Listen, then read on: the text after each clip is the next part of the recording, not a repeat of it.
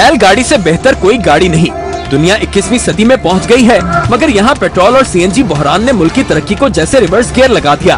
Petrol और CNG के झंझट से निकलने का आसान हल, आप भी अपनी ज़िंदगी को लगाएँ रिवर्स गियर और आ जाएँ साइकिल या बैलगाड़ी पर। क्या कहने इस बैलगाड़ी के? पेट्रोल, डीजल और सीएनजी का खर्चा, न इंजन की खराबी का खौफ। हाथ चलती ये कचरे की चाल है। लेकिन जनाब चले तो सफ़र कट ही जाता है। आहिस्ता आहिस्ता। खुद भी बैठे और दूसरों को भी सैर का मौका दें।